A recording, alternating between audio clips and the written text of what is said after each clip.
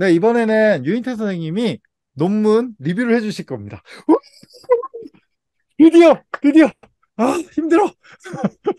네. 그러면 유인태 선생님이 김용수 선생님이 2017년에 쓴 논문이셨죠? 한국의 디지털 인문학 위기, 희망, 현실에 대해서 리뷰를 시작해 보겠습니다. 오늘 어, 리뷰할 논문은 지금 한림대학교에서 학생들을 가르치고 계신 김용수 교수님의 논문, 한국의 디지털 인문학 위기, 희망, 현실이라는 글입니다.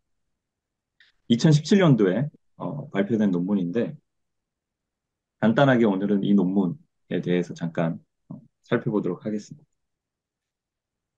네, 오늘도 PPT를 준비했습니다. PPT를 공유해서 한번 살펴보도록 하겠습니다. 자, 오늘 리뷰할 논문, 한국의 디지털 문학 위기, 희망, 현실. 자, 이 논문을 작성하신 분에 대해서 잠깐 소개를 해드리겠습니다. 김용수 교수님은 영문학을 연구하는 디지털 인문 학자라고 이야기할 수 있을 것 같습니다.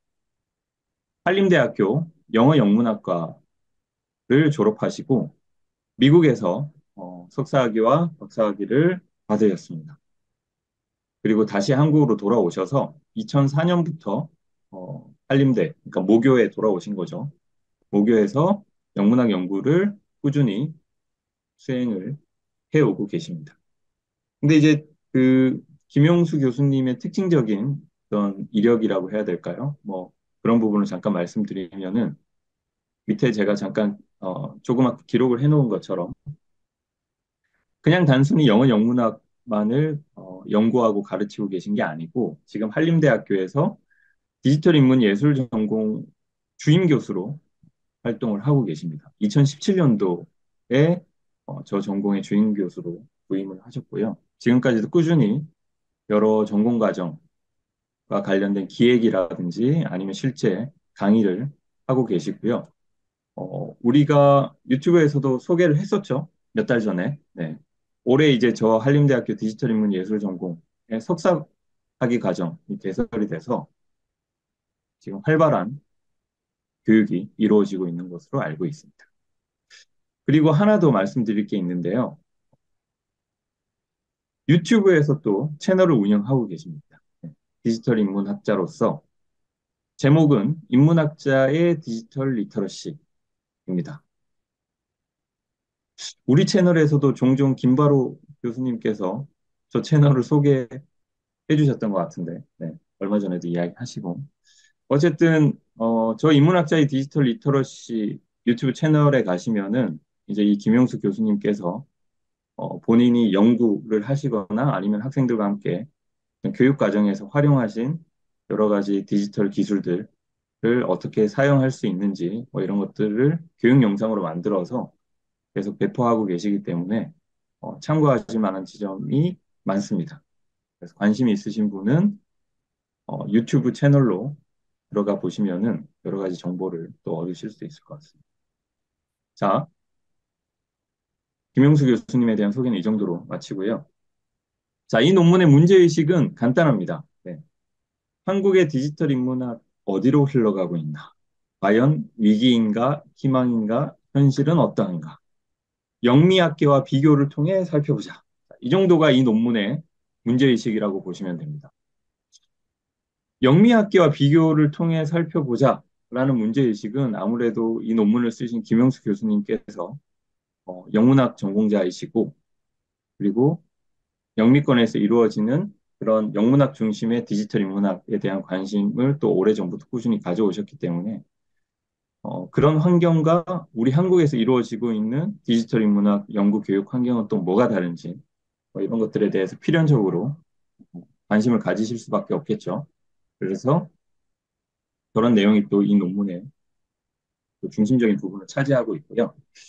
그리고 또 몇 가지 더 말씀드리면은 자, 이 논문이 어떻게 나오게 되었는가를 좀 생각을 해볼 수 있을 텐데요. 이 논문은 아무래도 어떤 구체적인 연구를 수행하고 그 연구를 수행한 내용을 정리한 논문이라기보다도 약간 좀 시사점, 그러니까 학계에서의 어떤 이런 학술 흐름과 관련된 시사점을 짚는 논문이기 때문에 아무래도 그 전에 나왔던 논문들의 영향을 필연적으로 받을 수밖에 없습니다. 그러니까 지난번에 제가 또 어, 리뷰를 했던 지도 교수님이신 김현 교수님의 디지털 인문학, 인문학과 문학 콘텐츠의 상생 구도에 관한 구상이라는 논문이 2013년도에 나왔고 그 이후에 또 저런 성격의 이제 디지털 인문학에 대해서 조망하는 논문들이 여러 편 나왔는데요. 그 중에서도 2016년에 발표된 이종환 교수님의 인문학의 미래와 디지털 인문학이라는 논문이 있습니다.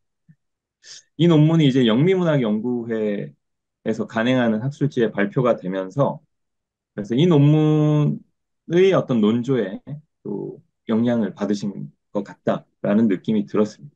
김영수 교수님께서. 저 이종환 교수님은 철학을 전공하신 교수님이십니다. 지금 제가 알기로 서울시립대학교에서 또 학생들 가르치고 계시고요. 어, 철학을 전공하시는데 정말 특이하게도 저 시점에서 또 디지털 인문학과 관련된 논문을 발표를 하셨고요. 그게 이제 김영수 교수님 논문에도 각주로 들어가 있습니다. 지금 잠깐 보여드리면은 어, 서론 부분에 보면은 이렇게 6번 각주에 보면은 최근 출판된 이종환의 논문 인문학의 미래와 디지털 인문학은 서구 디지털 인문학의 역사를 살펴보면서 인문학의 가능성을 모색하고 있는데 아쉽게도 한국 디지털 인문학의 고유한 역사를 간과함으로써 디지털 인문학 논의의 진전된 모습을 보여주지 못한다. 라고 말씀을 하셨는데 제가 이제 논문을 읽고 받은 느낌은 뭐냐? 저 이종환 선생님의 논문도 굉장히 훌륭한 논문입니다. 어, 개치를 좀 드러내자면 그동안 한국에서 나온 디지털 인문학 논문 중에서도 제가 정말 좋아하는 논문 네, 중에 한 편입니다. 그래서 여러분들한테 이 논문도 한번 꼭 읽어보시기를 권해드리기, 권해드리고요. 근데 이제 김용수 선생님께서 이 논문을 읽으시고 어, 이 논문이 충분히 훌륭한 논문임에도 불구하고 아무래도 한국 현실과 관련된 어, 여러 가지 정보를 다루는 것은 부족하기 때문에 그 부분에 대해서 내가 좀 더 보완적인 이야기를 하겠다라는 의도가 지금 보고 계신 이 논문 작성의 배경 맥락에서는 꽤 중요한 지점이 아니었던가 생각이 듭니다. 자, 그래서 어, 논문에 대한 이야기를 좀 해보자면요. 자, 서론을 이야기합니다. 제일 처음에. 근데 이제 어떤 되게 특별한 내용이 있는 건 아니고 전반적인 맥락을 쭉 조망을 하고 있습니다. 미국에서 그러니까 영미권에서 디지털 인문학이 계속 관심을 받고 있고 그러니까 이 당시가 이제 2017년이죠. 지금으로부터 6년 전입니다. 이때 한창 이제 디지털 인문학이 뭐 여러 가지 화두가 될 무렵이었는데 어, 그런 지점들에 대해서 말씀을 하시면서 그러면 한국은 어떻지? 라는 질문을 던지시는 거죠. 영미권은 이런데. 근데 이제 한국 같은 경우는 좀 특수성이 있다라는 말씀을 하고 계십니다. 한국도 옛날부터 디지털 인문학에 대한 어떤 관심은 꾸준히 있었는데, 근데 이제 영미권과 다른 게 뭐냐 하면은 한국 같은 경우는 인문 콘텐츠 학을 중심으로 디지털 인문학이 전개되어 왔다. 그리고 그 중심적인 역할을 하신 분이 지금 한국학중앙연구원 인문연구학과의 김영 교수님이다. 라는 말씀을 하세요. 그래서 이런 이야기가 나오죠. 어, 그런데 여기서 주목할 만한 점은 뭐다? 한국의 디지털 인문학이 서구학계와는 다르게 상당히 독특한 방식으로 전개되었다는 사실이다. 라고 하면서 뭘 강조하시냐면 이 이야기를 합니다. 문화산업과의 긴밀한 연관성. 자, 문화산업이 디지털 인문학과 연계될 수 있다. 어, 그냥 가볍게 생각해도 충분히 이해가 되는 지점입니다. 그런데 실제로 과연 얼마나 긴밀할까라는 질문을 던지면 또 다른 답이 나올 수가 있어요. 어쨌든 이 지점에 대해서 이야기를 하시면서 우리가 이 부분에 대한 이야기를 해야 된다라고 이야기, 그러니까 전개를 하시는 게 서론의 핵심입니다. 그래서 본론으로 들어가면은 이제 제일 처음에 뭐가 나오냐면 디지털 인문학 선언문에 대한 내용이 나옵니다. 이게 이제 미국에서 먼저 이루어지고 그다음에 이제 프랑스 파리에서 또 이루어졌죠. 그래서 그걸 묶어서 아메리카와 유럽에서 이루어진 디지털 인문학 선언문을 묶어서 서구권의 선언문이다라고 보통 이야기를 하는데 근데 이제 이 내용은 이제 다른 여러 논문에서도 어, 짚었고요. 그래서 막 되게 특별한 내용은 없는데 일단 정리를 하고 계세요. 정리를 하시면서 재밌는 이야기를 하십니다. 그게 뭐냐면 어, 미국과 유럽을 중심으로 이루어진 저런 디지털 인문학 선언문이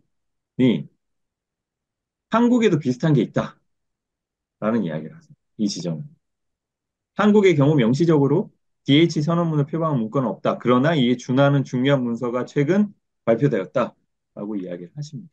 이게 뭐냐면 바로 한국 디지털 인문학 협의회 네, 창립 발기문. 이게 KADH 홈페이지에 가시면 보실 수 있습니다. KADH 홈페이지를 방문해 주십시오. 제가 여기서 소개하지는 않겠습니다. 자, 어쨌든 이거는 어떤 큰 규모의 어떤 인문학 연구자들이 종합적으로 모여서 어, 발표한 선언문이라고 보기는 어렵죠.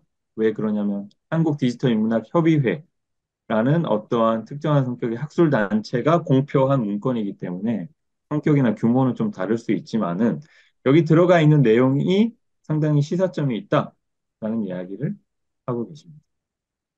저도 그 저하고 김바로 선생님 그 선언 그러니까 선언문이 아니고 그 발기문을 공표하는 현장에 있었는데 네. 건국대학교에서 있었는데 어쨌든 그 생각도 나고 자 어쨌든 이 이야기를 하시면서 어, 3챕터로 넘어가는데 그게 뭐냐면 영미권에서 이루어지고 있는 디지털 인문학과 관련된 계략적인 역사 그리고 2017년 이 시점에서 어, 그런 역사를 쭉 어떻게 보면 연계해서 계승해서 영미권에서 이루어지고 있던 디지털 인문학에 대한 여러 가지 시사점과 관련된 내용을 이야기를 하고 계세요. 그래서 이건 그냥 읽어보시면 됩니다. 네, 쭉 읽어보시면은 아, 이 당시에 어, 영미권을 중심으로 한 디지털 인문학 어떤 인프라라고 해야 될까요? 환경이라고 해야 될까요? 뭐 어떤 시사적인 어떤 담론이라고 해야 될까요? 그런 게 이런 것들이 있었구나 라는 거를 보실 수 있습니다. 보실 수 있고 이게 중요합니다. 4챕터 한국의 디지털 인문학과 인문 콘텐츠 그렇다면 한국의 디지털 인문학은 우리가 어떻게 이해해야 할 것인가 라는 이야기를 이 네 번째 chapter에서 말씀을 하고 계신데 토론에서 간단하게 그 방향을 잡아주신 것처럼 한국의 디지털 인문학의 특수성은 뭐다? 바로 인문 콘텐츠학과 문화 콘텐츠학이라는 이야기를 하십니다. 어쩔 수 없죠. 네. 이야기하지 않을 수가 없습니다. 그래서 이 부분이 이제 뭐 여러 가지로 지금의 디지털 인문, 한국의 디지털 인문학과 관련된 여러 문제의식이라든지 실제 어떤 결과물이라든지 이런 걸 낳은 동인이다 라는 말씀을 하시는데 거기까지 하면은 일종의 정리겠죠. 실제 어떤 역사를 어, 가져왔는지에 대한 정리인데 근데 재밌는 지적을 하십니다. 뭐냐? 인문 콘텐츠학이나 문화 콘텐츠학은 기본적으로 일반적인 인문학하고 다른 게 뭐냐면 콘텐츠 자원을 어, 만들거나 탐구하거나 아니면 기존의 어떤 그런 비슷한 성격을 가지고 있는 자원에 대한 어떤 여러 시사적인 측면 이런 걸 조망하는 게 이제 어, 문화 콘텐츠 학이나 인문 콘텐츠 학이 가지고 있는 학문으로서의 어떤 특수한 뭐 지점이라고 할 수 있는데 그것과 관련해서 볼 때 결국은 어, 이런 콘텐츠와 관련된 맥락에서 디지털 인문학이 연계된다라는 거는 그 디지털 인문학의 외연도 결국은 뭐다? 문화산업의 역량에서 자유로울 수 없는 게 아닌가? 라는 이야기.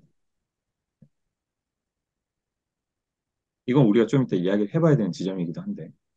그리고 그 문화산업이라는 거는 결국은 뭐가 중요하죠? 산업이기 때문에 상업성에 관한 이야기가 나올 수밖에 없습니다.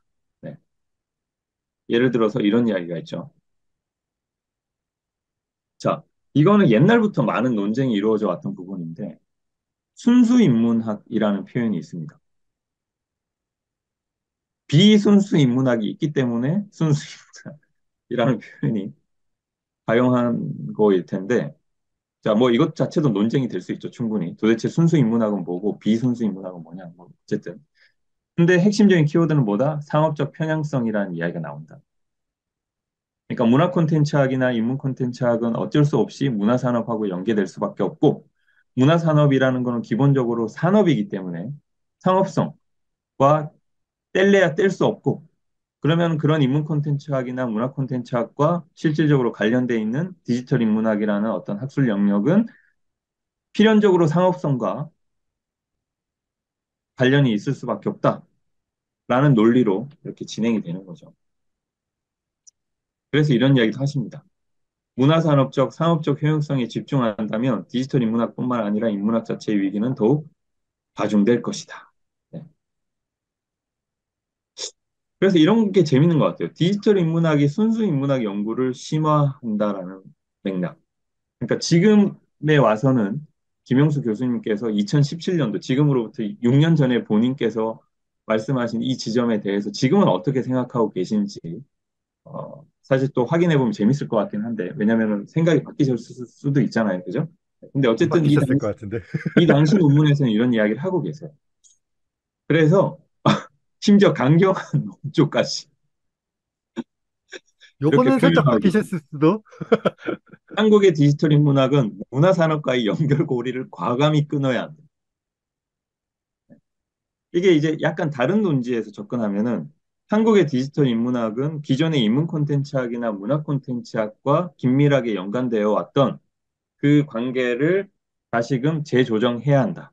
라는 이야기로 사실은 정리할 수도 있습니다. 이 부분은. 네. 자, 우리에겐 새로운 출발이 필요하다. 라는 이야기를 하고 있습니다. 그래서 어, 결, 그 나가며 결론이죠, 그죠? 결론부에 재밌는 이야기가 나옵니다. 우리 인문학계에도 디지털 연구 방법론을 적용한 순수 인문학 연구가 조금씩 그러나 꾸준히 이루어지고 있다라고 하시면서 어떤 분들을 거론하시냐? 사학계의 허수 교수님, 지금 서울대 국사학과에 계시죠. 역사학부 교수님이고 국문학계의 이재연, 이재연 선생님 논문을 한번 리뷰한 적이 있죠. 지금 유니스트에 계신 이재연 교수님 이야기를 하고 있습니다. 근데 김용수 교수님을 포함해서 허수 교수님 그리고 이재연 교수님 모두 지금 한국 디지털 인문학 협의회에서 중책을 맡고 계시고 그리고 저 연배에 계신 선생님들 중에서는 확실히 어, 앞서 나가신 분들이 디지털 인문학의 맥락에서 생각을 해봅니다. 어쨌든 김영수 교수님께서 생각하신 건 뭐냐?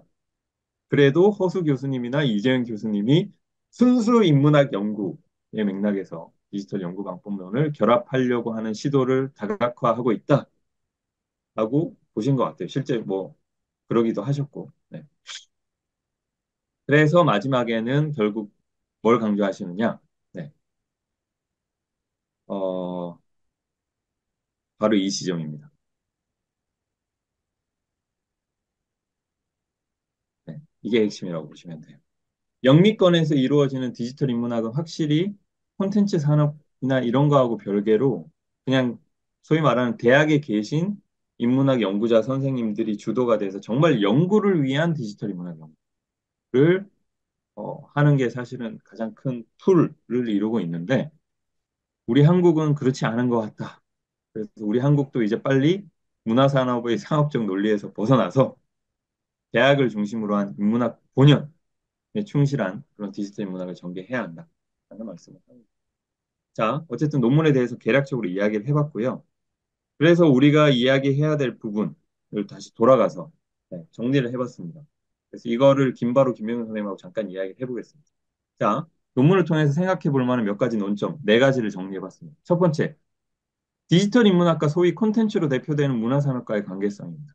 자, 한국에서 이루어져 온 디지털 인문학이 실제 문화산업과 얼마나 관련이 있는지 김영수 선생님이 저렇게 우려를 하실 정도로 정말 큰 관련이 있는지에 대해서 김바로 선생님과 김경우 선생님께 한번 여쭤보겠습니다. 짧게 이야기해 주시죠. 네, 관련이 없지 않아 있죠. 어떻게 관련이 있죠? 지금 당장에 어, 맥락을 어느 정도 봐야 되는데 기본적으로 디지털 인문학이 인문학과 정보공학의 융합이라고는 측면에서 봤을 때 콘텐츠 영역도 뭐 다양한 영역이 있지만 문화 콘텐츠의 큰 영역 중에 하나가 디지털 산업 영역에서 이제 발생한 파트가 있으니까 그 부분이 엄청나게 크죠. 절대 작지 않죠. 당장에 이 선언문 자체가 작성되게 된 배경 자체가 그 건국대학교 김희덕 교수님 이 회장으로 있을 때, 인문 컨텐츠 학회 회장으로 있을 때 한국연구재단에서 정책 연구를 수행하고 그 정책 연구의 결과로 유인태 선생님도 나중에 어, 수행하게 되는 디지털 인문학 사업을 발주하게 되고 그 그걸 만들는 거죠. 그 만드는 과정 그리고 그 중간에 산출물로서 한국 디지털 인문학 협의회 창립 발기문도 만들어진 거니까요. 만약에 컨텐츠로 대납하는 문화산업과의 관계성이 아예 없다라고 하면은 그거는 한국에서 인문학과 정보공학이 융합하고 있는 역사적인 맥락성을 부정하는 게 된 거라고 생각합니다. 자, 핵심을 이야기해 주십시오. 관련이 있다. 근데 얼마나 관련이 있습니까? 실질적으로. 그거를 지금 어떤 기준으로 보죠? 그러니까 여러 가지 차원이 있을 수 있겠지만 김바로 선생님께서 여러 경험과 이해를 갖추고 계시기 때문에 종합적으로 봤을 때 한마디로 이야기해 주십시오.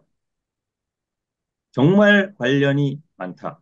또는 적당히 관련이 있다. 또는 관련이 있어 보이지만 실제로는 관련이 없다. 뭐 어떤 식으로든 직관적으로 이야기를 해 주십시오. 관련이 없지 않아 있다.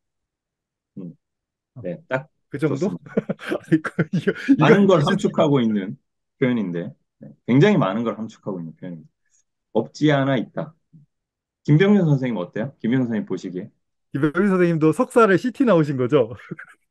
그 CT 대학원이 2005년에 그때 만들어졌을 때도 그 5T 요즘은 뭐 6T라고 하는데 IT, NT, BT 뭐 이렇게 쭉 돼 있는데 거기에 CT가 들어감으로써 국, 국가 돈이 이제 들어갈 수 있는 그 법령이 된 거잖아요. 그리고 문화관광부, 문화체육관광부 소속으로 그때 10년 펀딩을 받았고 그 이후에는 이제 카이스트 자체 펀딩으로 돌렸는데 어, 당연히 관계성이 높죠. 그래서 그게 그 뭐 지금은 많이 옅어진 것 같지만 근데 요즘에 그 굉장히 큰 관계성이 있고 나라 돈이 투여가 돼야 그만큼 그게 크잖아요. 특히 뭐 음, 그래서 저는 관계성이 높다고 생각하고 지금은 잘 모르겠어요. 근데 지금 그 CT 대학원이 2005년에 처음 생기고 한 10년간 문화체육관광부 돈을 어, 펀딩을 받으면서 했기 때문에 그 당시엔 그런데 이제 그 2015년 때 제가 입학했을 때 이제 그게 끄- 끊겼거든요. 그러면서 조금 약간 CT 대학원도 성격이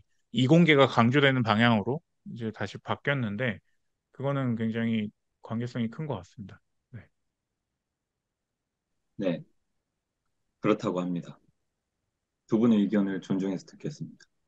자, 두 번째 질문으로 가겠습니다. 어쨌든 그 한국에서의 디지털 인문화가 뭐 지금도 여전히 콘텐츠와 관련된 문화산업과의 관계성이 크다라고 정리가 되고 있고요. 근데 구체적으로 그게 어떻게 드러나는지와 관련해서는 다음에 따로 시간을 잡아서 이야기 좀 해봐야 될 것 같아요. 왜냐하면 굉장히 복잡한 문제일 것 같기 때문에. 자, 두 번째, 예민할 수 있습니다. 상업성으로 거론되는 부분을 어떻게 이해할, 것인가. 아까 잠깐 순수 인문학이라는 표현에 대해서 이야기를 했는데, 순수 인문학은 상업성을 추구하지 않습니다.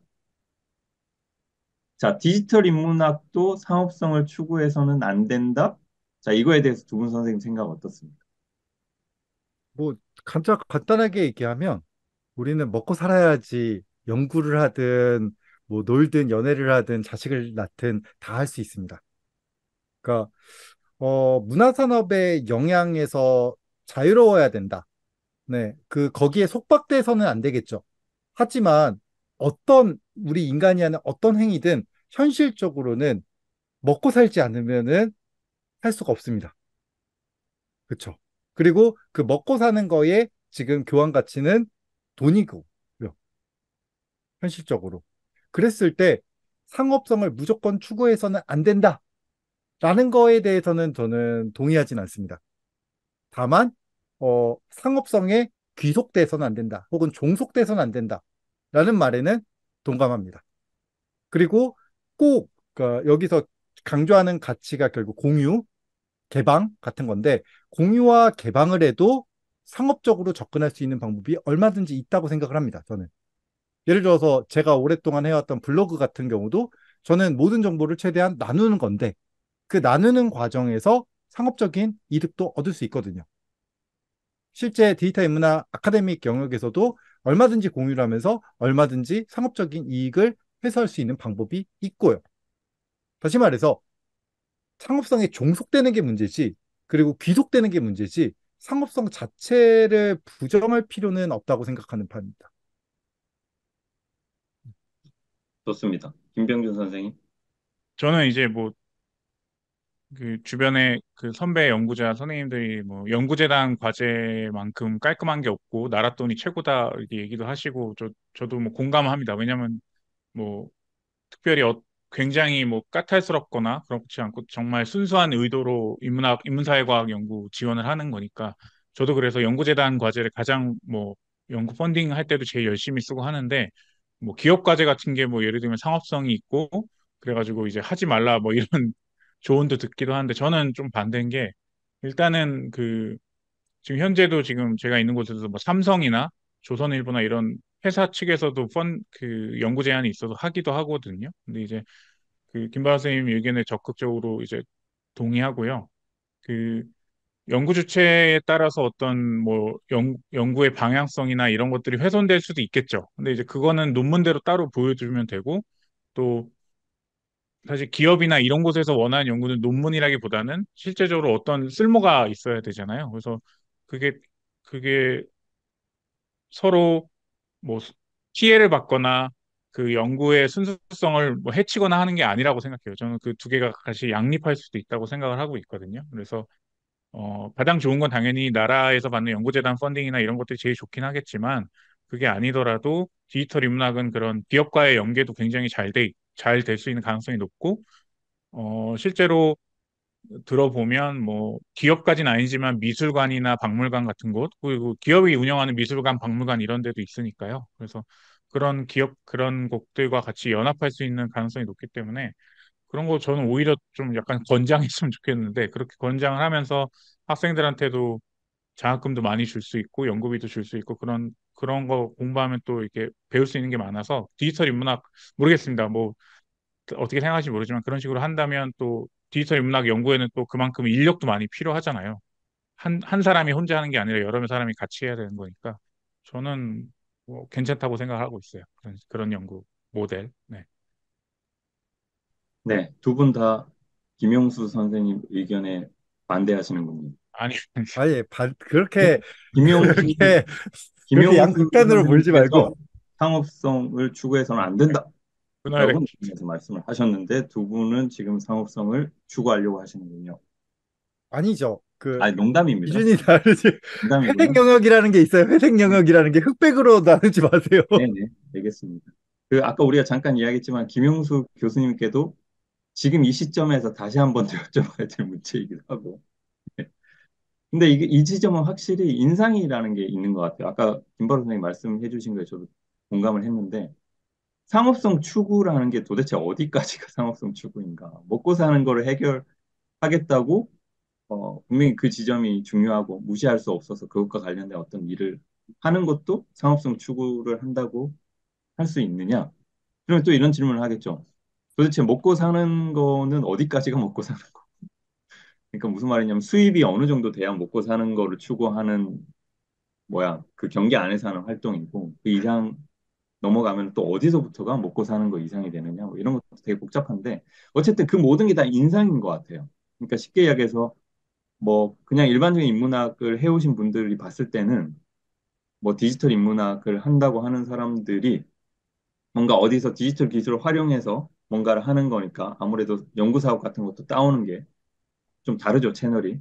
그래서 그런 것도 따오기도 하고 또 다른 맥락에서 아까 김영 선생님 이야기하신 것처럼 꼭 그게 뭐 국가 사업뿐만 아니고 그 외부의 어떤 기업이라든지 아니면 사적인 맥락에서 어떤 어, 그런 것과 관련된 뭔가를 어떤 펀딩을 받아와서 사업을 수행한다든지라고 하는 거를 보면은 뭔가 우리는 저렇게 저렇게까지는 안 하는데 그 사람들은 또 저런 걸 하는구나. 어, 돈이 되는구나.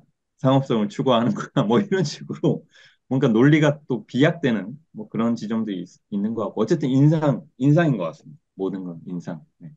이 지점은 1번하고 연관해서 다음에 또 시간을 내서 이야기를 해보면 좋을 것 같아요. 자, 3, 4번은 뭐 복잡한 질문은 아닙니다. 3번 같은 경우는 간단한데 제가 잘 몰라서 두 분한테 여쭤보고 싶었던 거이기도 하고 제가 알기로도 여전히 그렇거든요. 미국과 유럽을 중심으로 한 디지털 인문학은 오히려 상업성이라든지 뭐 문화산업이나 콘텐츠와 관련이 적기 때문에 이런 부분에 대한 리스크에 대한 논의가 계속 지금도 연구자들 사이에서 꾸준히 이루어지고 있는 걸로 알고 있고, 근데 이제 저는 그렇게 알고 있는데 두 분이 알고 계신 건 또 다른 측면이 있을 것 같아서 어떤가요? 안 그런 맥락도 있습니까? 네. 유럽이나 뭐, 미국에서 이루어지는 디지털 인문학 가업 관련된 것 중에서도 상업성을 철저하게 추구한다든지 뭐 이런 사례가 있습니까? 일단 뭐 유럽, 미국보다 제가 좀 잘하는 쪽을 얘기를 들어드리면은 대만 같은 경우도 충분히 상업성을 추구하고요. 그리고 오히려 한국에서 문화 콘텐츠라고 불리는 영역에 대해서도 상당히 발전돼 있고 이 똑같은 거는 사실 중국 대륙도 똑같습니다. 제가 봤을 때에는 오히려 그쪽에서 더 노골적으로 추구하는 면도 없지 않아 있다고 봅니다. 그리고 미국하고 유럽은 제가 그렇게까지 잘 알지 못해가지고 분명하게 말씀드리긴 어렵지만 어, 아예 없다고 하기는 어렵지 않을까요? 네. 거기도 지금 가장 간단하게 얘기해서 기존의 인문학에 대한 소위 말하는 인문학의 몰락 에 대한 대응으로서 디지털 인문학이 분명히 대두되고 있는 측면입니다. 이 말 자체가 사실 내, 내포하고 있는 게 많죠. 네. 그래서 순수, 네, 저도 좋다고 생각합니다. 근데 그 순수를, 예를 들어서 공과는 순수하지 않나요? 이공계는 뭐 순수하지 않나요? 네. 아니죠. 다른 방향성이고 순수하면서 상업성도 같이 추가할 수 있는 방향은 없을까 라는 고민하는 측면도 분명히 있다고 봅니다. 그거는 저희가 먹고 살기 위해서 인간인 이상 현실에서 먹고 살기 위해서 어쩔 수 없이 있는 거 아닐까요? 네. 그러면은 김병준 선생님께 여쭤보죠. 김바로 선생님 잘 모르겠다고 하십니다. 좀 알고 계신 거 알려주십시오. 아니, 근데 저도 아메리카랑 유럽 잘 모릅니다. 네, 네. 아메리카 잘 아실 것 네, 같은데. 아메리카, 네. 근데 그 그건 있는 것 같아요. 이제 카이스트 요번에 대학원 만들 때 그 결국은 그 이, 이 학생들이 여- 학계에 다 남을 수가 없을 거고 특히 석사 졸업은 박사도 마찬가지고 뭔가 진로를 만들긴 해야 되는데 해외의 대학원들 이제 케임브리지가 디지털 인문학 박사과정 이제 시작을 했고 어 computational social science 쪽도 이제 조금씩 나오고 있으니까요. 근데 이제 어떻게 할 것인가, 그 직장을 어떻게 만들어줄 것인가, 이제 몇 가지 모델이 있는데, 뭐 예를 들면 뭐 네이버나 이런 구글, 페이스북 같은 곳에 어, 뭐 알고리즘을 만들 때 인문사회과학 전공한 학생들이 같이 들어가서 그런 연구자로서 같이 할 수 있는 환경, 어, 뭐 이런 아니면 말뭉치를 만들 때 언어학 전공자가 같이 이렇게 일할 수 있는 환경 이런 거를 좀 생각을 해야 될 것 같고요.